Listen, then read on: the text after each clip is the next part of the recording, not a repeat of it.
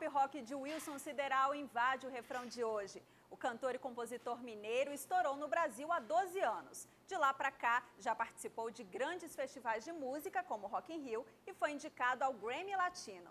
Com vocês, o som de Wilson Sideral.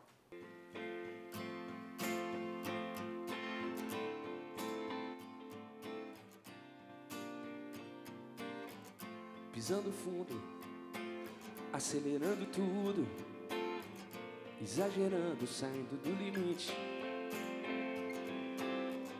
É o que eu te disse. Eu sou assim, partindo pra cima, fugindo de mim.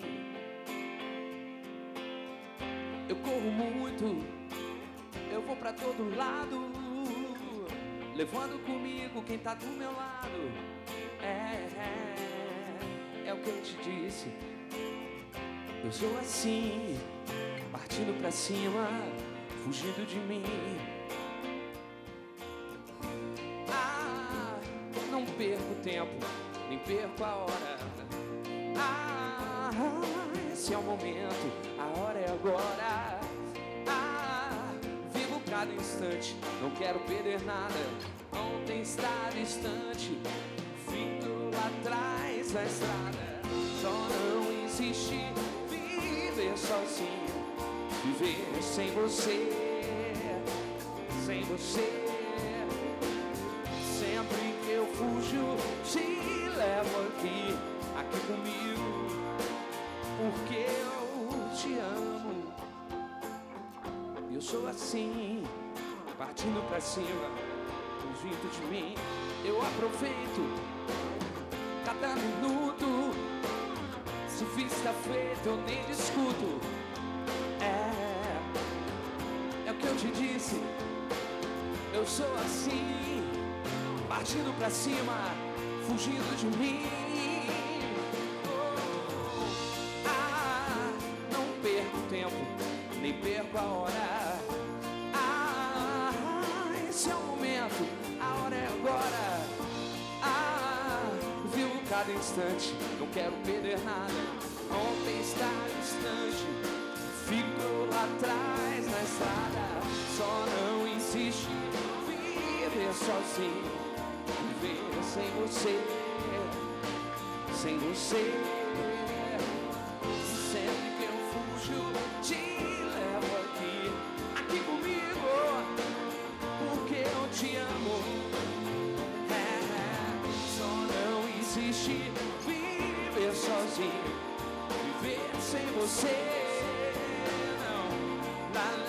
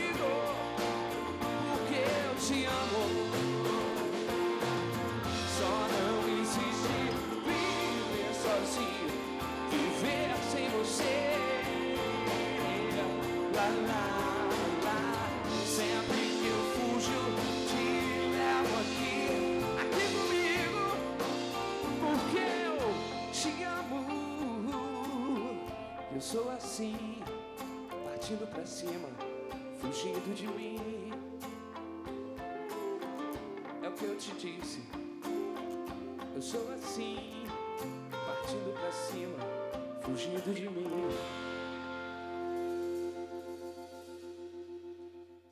Wilson Sideral, seja muito bem-vindo ao refrão. Poxa, muito obrigado. Prazer estar aqui, Priscila, falar contigo, a rapaziada aqui que tá ligada no refrão. Obrigado por ter vindo aqui conversar comigo. Nesses 12 anos de carreira, quais foram os momentos mais marcantes para você? Poxa, é, é tão difícil, é, mas eu sempre escolho os momentos das gravações dos discos e todas as histórias que, que, que fazem parte do, do ambiente.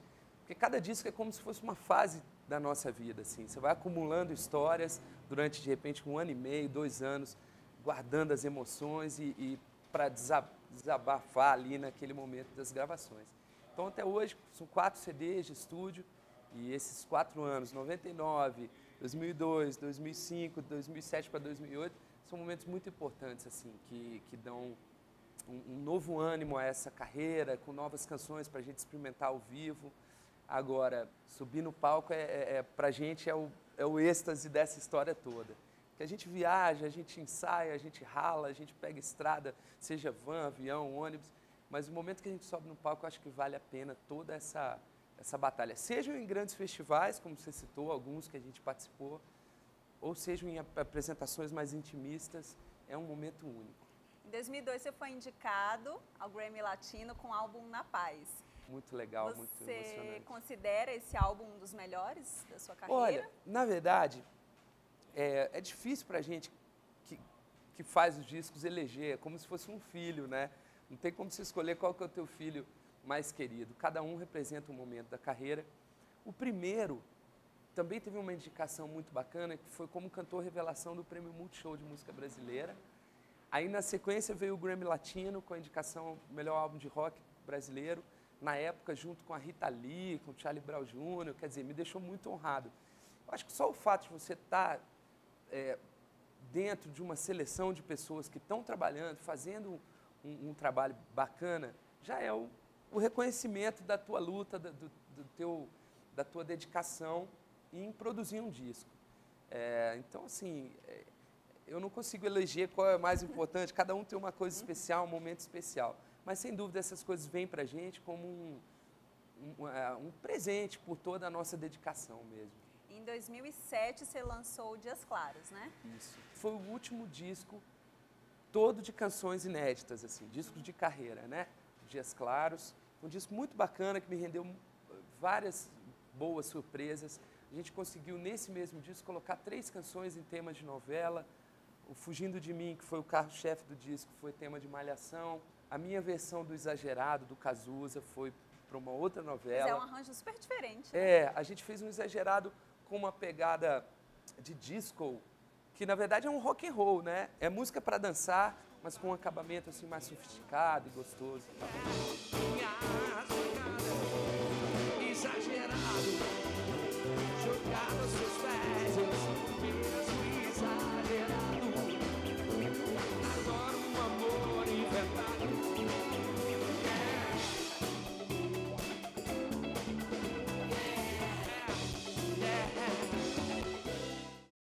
Funciona esse processo de composição para você? O processo de composição é uma coisa que a gente vai lapidando, vai melhorando a tua, a tua escrita, sempre buscando melhorar mesmo a cada dia.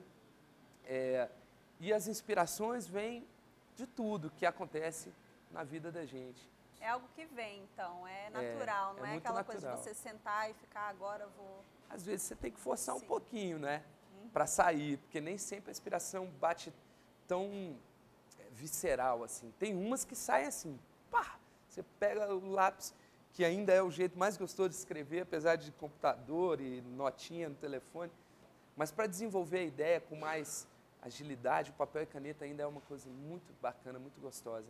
E, e tem algumas músicas que saem de uma vez, assim, parece que é um, uma coisa que já existe, que você deu vida àquilo, aquelas palavras.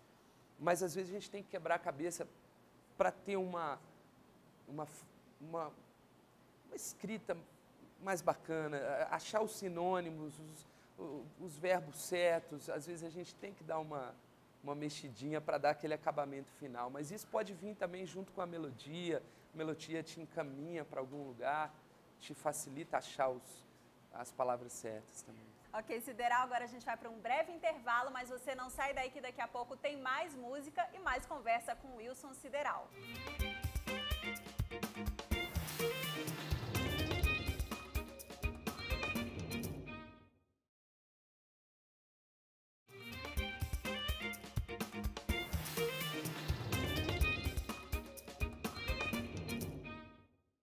está de volta e hoje eu converso com o cantor e compositor mineiro Wilson Sideral, que já se apresentou em grandes festivais de música. Sideral, conta pra gente, você já se apresentou no Rock in Rio, em outros festivais também, é. mas também já fez shows menores. Com certeza. O que, que você prefere, grandes plateias ou pequenas plateias? Cada um tem um desafio, porque apesar de você pensar, poxa, de repente tocar para uma multidão tem um friozinho na barriga a mais, tem gente que acha que é mais difícil. Mas, na verdade, as grandes multidões, os grandes festivais, como o Rock in Rio, Pop Rock Brasil, que é um festival de rock é, parecido com o Porão do Rock, o Planeta Atlântida, que eu já me apresentei também, lá no Sul. É, a festa por si só já encanta o público. Então, aquele público parece que ele já está na tua mão, ele está esperando só você dar um start para ele explodir.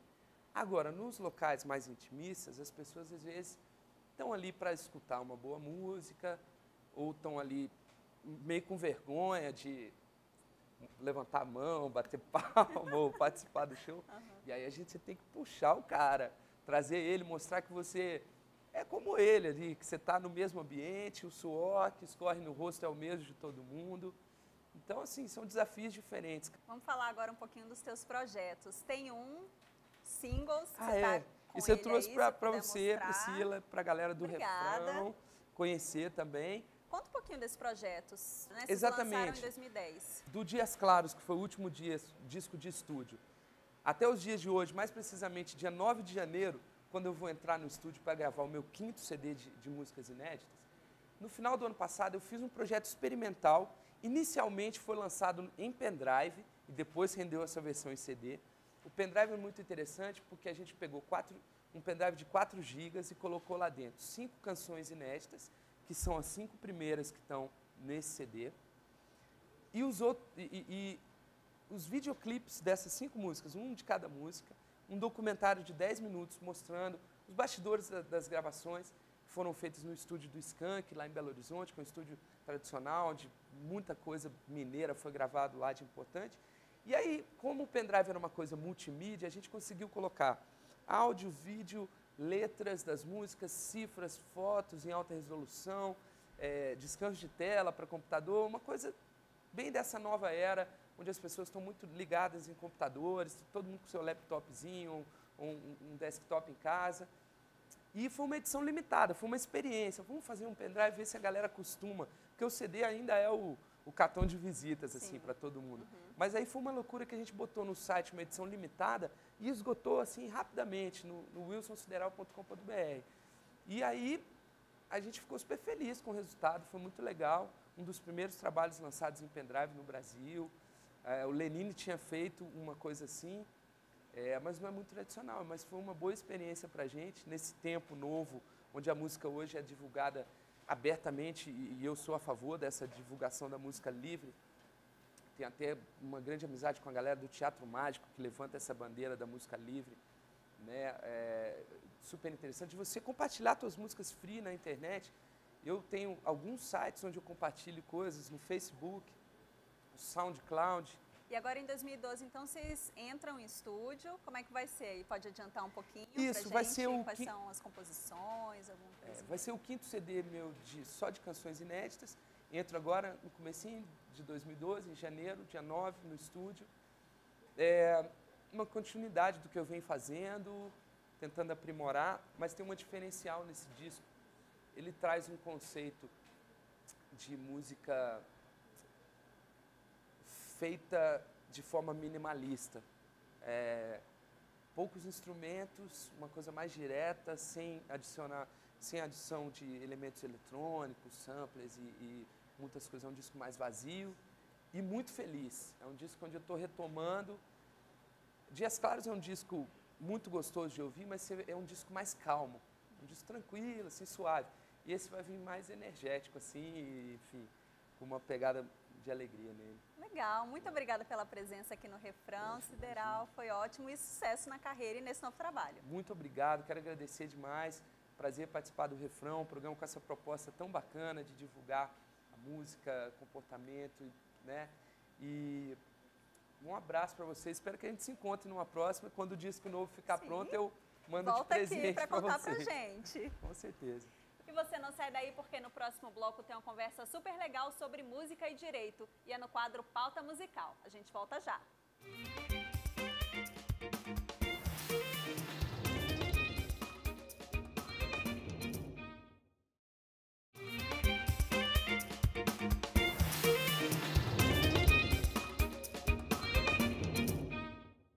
Chegou a hora da nossa pauta musical.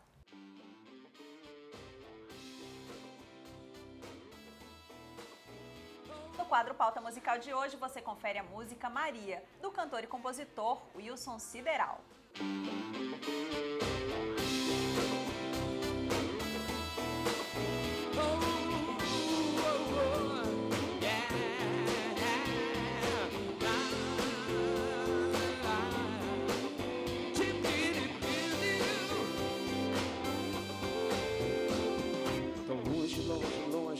Agora sinto saudade de nós dois.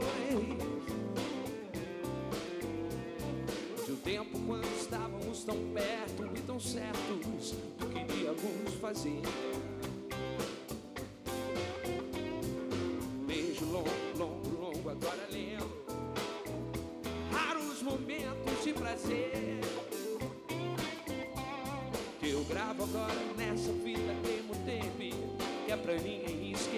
Esquecer. A vontade de falar tudo isso pra você já virou mais uma página. Palavras são como os boêmios, gostam de sair à noite. À noite, é Maria. Eu ainda te amaria.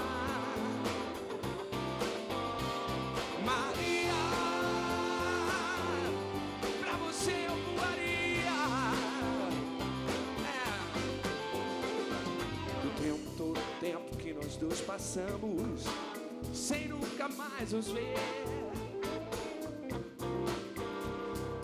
Tanto quanto, tanto quanto nos amamos, sem saber que era tanto, tanto, tanto. A vontade de falar tudo isso pra você já virou mais uma página, uma página. Palavras são como os boêmios, gostam de sair à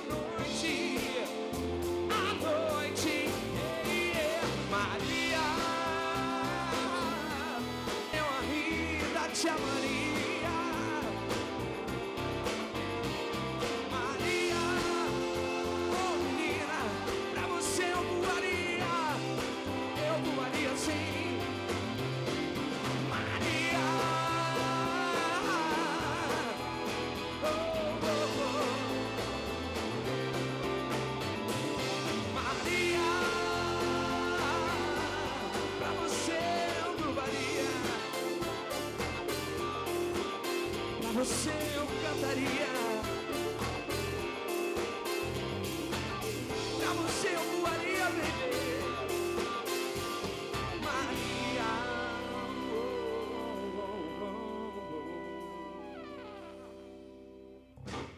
nosso convidado de hoje para falar sobre essa música que você acabou de ouvir é o advogado de família Rômulo Sus. Seja muito bem-vindo ao refrão. Obrigado.